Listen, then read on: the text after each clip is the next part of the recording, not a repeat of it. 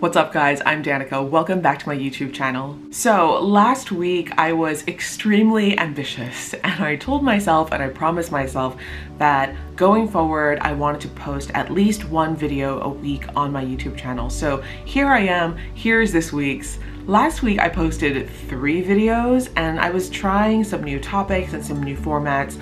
I'm still not sure where I'm landing, but I do know that it felt really, really good last week to post content that makes me happy. So here I am again. I wanted to talk a little bit about what I usually get up to on the weekends in Hong Kong, especially over the past few months when we've been in the situation where no one can really travel. Never in my life would I ever have imagined that I would be going through any kind of travel lockdown in the confines of a city.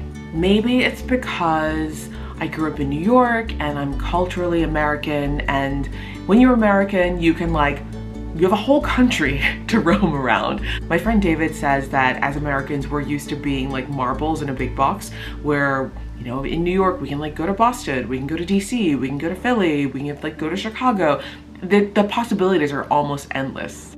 But because I've been living in Hong Kong for 18 months now, and we have sort of been in lockdown since January, way before the American lockdown, I have not left this city since last December, since I came back to Hong Kong after Christmas. This is the longest I have been in one city, wow, for, since 1995. And over the past few weeks and months, with the closure of restaurants at night, with the closure of gyms, I belong to two gyms and both are closed because the government has mandated that all gyms and recreational facilities be closed. I've sort of come up with this cobbled together routine that I do for my own mental health on the weekends. Now it's not ideal because I do feel like I am missing a basic element of exercise that I know over the past few months have really changed the way that I feel. If you've been watching my channel for a while, you'll know that over the past year and a half, I've been on a personal wellness journey where I've lost about 60 pounds and have really tried to change and like really pivot my outlook on health and wellness. It's something that I never really paid attention to before last June. But the lockdown has really thrown really thrown me for a loop on that one. I don't really know how to motivate to incorporate exercise into my daily routine without the structure of having a personal trainer, um, having a gym to go to, like a place to go to. I didn't realize how important that's become to me and having a sense of accountability for reaching goals and milestones in my journey. So the past few months has actually been really, really difficult for me psychologically. In the beginning of lockdown, I did find that if I didn't structure my weekends even a little bit, I would wake up in the morning and then just sort of do nothing. And then all of a sudden it would be Sunday night and I wouldn't know where like the weekend had gone and I didn't feel rested. I didn't feel like I accomplished anything for myself and it was very frustrating. So what I've been doing over the past few months is every single Saturday and Sunday, the first thing I do in the mornings is get up, get ready, like either put on makeup or don't put on makeup, like, I don't know. Usually I just wear like shorts and like a t-shirt or a hoodie and I leave my apartment. That is crucial. Leaving my apartment has become one of like the most important things that I have to force myself to do on like a Saturday and a Sunday. So every Saturday and Sunday, I grab my Smythson diary. It is the thing that I treat myself to once a year. I love Smythson notebooks so much, but they are so expensive. And don't get me wrong, I love Moleskine notebooks and I love a yellow legal pad. Anybody who knows me knows that I can only like do work on the yellow legal pad. so I have like tons that I brought from the States over to Hong Kong. But for my leisure writing, I do prefer a Smythson pale blue paper. It is seriously like the smoothest paper I've ever written on. Anyway, that's like total notebook nerd territory. Every Saturday and Sunday, I will grab my Smythson diary and I will head to a local coffee shop. Sometimes I go a little bit further afield, but mostly I'll go to like a local coffee shop in my neighborhood or like within like a 20 or 30 minute walk. And I will sit down and I will get a coffee and I will do my pages. Now, if you're a fan of any like productivity guru type people on YouTube, you probably have heard of the concept of doing pages. It is not a new concept. It is something that has been around forever. It's basically the idea of sitting down every morning and writing something. I was introduced to the idea of doing pages not in a journaling sense, but during a writer's workshop I attended a few years ago.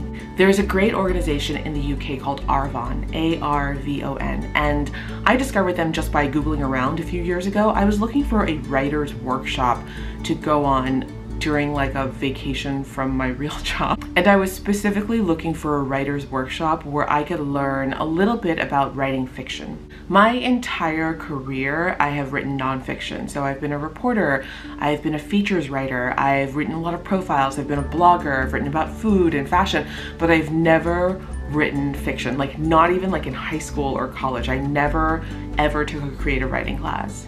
But for a little while, a couple years ago, I thought about writing a young adult novel. And I have like a bunch of ideas for YA novels, but I never, I never ended up doing it. Anyway, so I really wanted to go take a course and learn about the technique of writing fiction. And I wasn't sure if I, I could write fiction. So I signed up for this course at Arvon. Arvon runs extremely affordable courses and that was part of the reason why I chose to go to like the countryside in England for an entire week with no Wi-Fi to learn about fiction writing. Now, obviously I never wrote a YA book, so I didn't really succeed on that front. But what I did take away from the writer's workshop that was probably the most important takeaway for like my life was one of the exercises we did every single morning at the writer's workshop was the poetry tutor. There were three tutors on the course and one of them is a poet. Every single morning we would sit down and that tutor would throw a line at us or throw a concept at us. And for 10 to 20 minutes every morning, we would have to do pages. It was a stream of consciousness form of writing where you just go.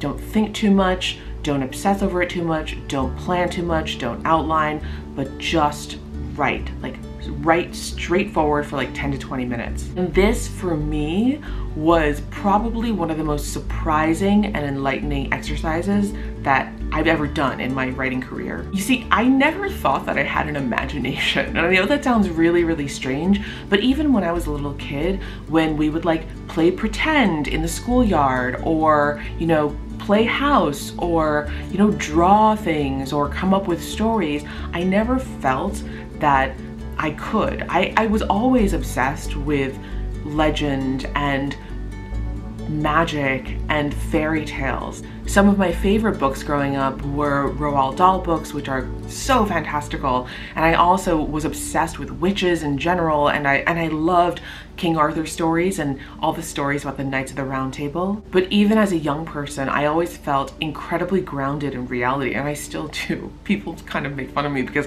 I am like sometimes way too realistic, and that can become cynical a little bit. But doing pages at this writer's workshop really opened my eyes to what's possible when you stop thinking so much. When you turn off that part of your brain that's like the conscious, grounded planning part and just write. Write exactly what comes to mind. It almost like opened an entire new like synapse or creative channel in my mind. So since the lockdown started, I've realized that I need a moment every week to check in with myself. So over the past few months, every Saturday and Sunday, I sit down and I do my real life pages, which means when I'm sitting in the coffee shop, I will just write. Sometimes I can write like 10, 20, 25 pages in one sitting. And it's not straightforward journaling. Like I'm not recounting every single detail of every single thing that happened that entire week. Like that's why I don't do pages every single day. I do it once a week. It's very top line stuff. The things that I remember, the things that stuck out to me, the, the moments that I can't stop thinking about for one reason or another. And I try to capture that on paper. I don't really read it over again, but in a way it's so cathartic just to write it out and to get it out. I also make sure to include any reactions I perceived myself having. So how I was feeling at the time, how I feel now about something, how I reacted at the time, if there's anything that I would have changed about how I reacted. And that really helps me sort of close the chapter on every single week. It also helps me to set myself up for success in the week going forward. Now that sounds like really, really hokey, but that is something that I found to be so helpful when the concept of time and the feeling of the calendar year has been so warped. Hong Kong went into semi-lockdown in January, right after Chinese New Year. And I can't believe that September is basically next week. The end of the year is just around the corner. This year has flown by, but at the same time, it has also crawled by. And without this weekly journaling and these, these weekly records of how I felt and what a roller coaster emotional year this has been when physically and action wise like nothing has really changed my life has essentially not changed but the inside of my mind has completely changed how i feel and how i feel like i've changed as a person it I'm like a totally different person than I was nine months ago. This is a record that eventually one day I will look back at and I will read and, and, and understand what kind of a transformation has happened in 2020. Anyway, that is my rambly random video of the day. Now, to be fair, after I do my pages, it is not all introspection and thoughtfulness for the rest of the day. I do try to get my pages out of the way so I can do something fun and random in the middle of the day. For example, yesterday, after I did my pages, I went to a neighborhood in Hong Kong called Diamond Hill because I read on the internet that there is a restaurant in a mall in Diamond Hill that is themed around Kim Jong-un as Captain America. I know that makes no sense, but it's a Korean restaurant that has a bunch of art on the walls and like paintings and cartoons and a giant statue in the front of the restaurant the entire restaurant is themed like a bunker, like a bomb shelter.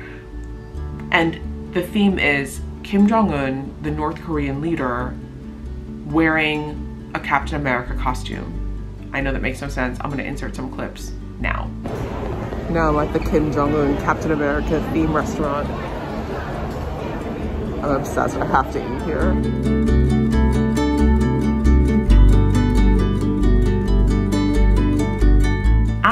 Had lunch at the Kim Jong-un Captain America restaurant, I left the mall and I went across the street. So across the street from this giant mall is a nunnery and I believe it is a Buddhist temple that is run by nuns, which is, and it's, it's beautiful. It is so peaceful and so calm and around the nunnery the city has built a, a, a huge a garden. And so I spent some time there and honestly it was the most peaceful and chill place I've been in Hong Kong in 18 months and I loved it so much. I will put some footage here.